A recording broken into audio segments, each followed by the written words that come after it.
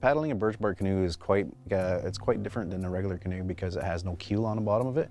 It's like uh, jumping on a flying saucer or a crazy carpet. I, am hoping right now that uh, they don't flip the canoe.